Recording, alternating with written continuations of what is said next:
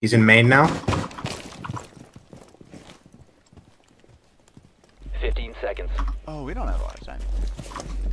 I don't think you have enough time. 10 seconds.